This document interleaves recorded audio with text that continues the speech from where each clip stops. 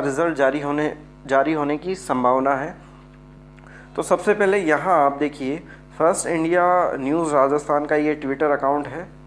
यहाँ ये आज का ये एलडीसी को लेकर बड़ा अपडेट आप देख सकते हैं, जिसमें युवाओं ने R S M S S B के सामने धरना प्रदर्शन किया। तो ये छप्पन फिफ्टी सिक्स मिनट पहले की ये न्यूज़ है। यहाँ आप देखिए, Jaipur R S S B के सामने एल डी सी अट्ठारह के अभ्यर्थियों का धरना।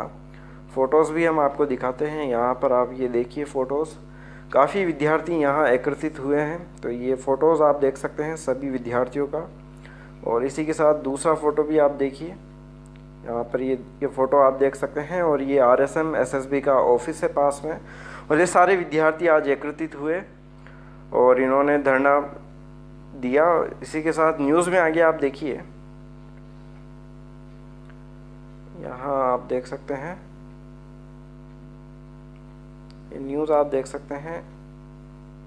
आगे आप, आयोग को एलडीसी परीक्षा 2018 का परिणाम जारी करने की लगाई गुहार। कहा कि बेरोजगारों के साथ मज़ाक किया जा रहा है। सैकड़ों एलडीसी अभ्यर्थियों ने हस्ताक्षर हस्ताक्षर कर ज्ञापन सौंपा। बेरोजगार अभ्यर्थी सरकारों की राजनीति का शिकार हो रहे हैं। तो ये अभी कुछ ही देर पहले का अपडेट है और इसी के साथ जो ज्ञापन दिया, उसके बारे में भी आपको जानकारी देते हैं कि विद्यार्थियों ने क्या ज्ञापन सौंपा? तो ये आप देख सकते हैं, युवा हल्ला बोल।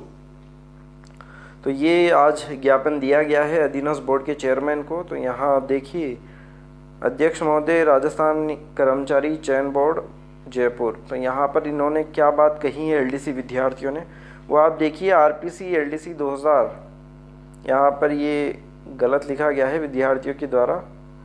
आ, नहीं सॉरी बिल्कुल सही है आर एस एस बी यानी कि R S M S S B वही बात है। 2018 की परीक्षा चार चरणों में आ, हुई है 12 अगस्त 19 अगस्त 9 सितंबर और 16 सितंबर को। बोर्ड के द्वारा ये परीक्षा करवाई गई तैयारी कर रहे हैं। विद्यार्थी इसका परिणाम का इंतज़ार कर रहे हैं और इसके साथ आगे इसमें जानकारी दी गई है। काफ़ी परिणाम जारी नहीं किया गया है इस प्रकार प्रक्रिया में काफ़ी समय लगने की संभावना है। परिणाम जारी करने के बाद इसके द्वितीय चरण की परीक्षा, यानी कि आपका टाइपिंग टेस्ट होना है। इसमें यही जानकारी दी गई, जिससे बेरोज़गारों को काफ़ी समय इंतज़ार करना पड़ सकता है।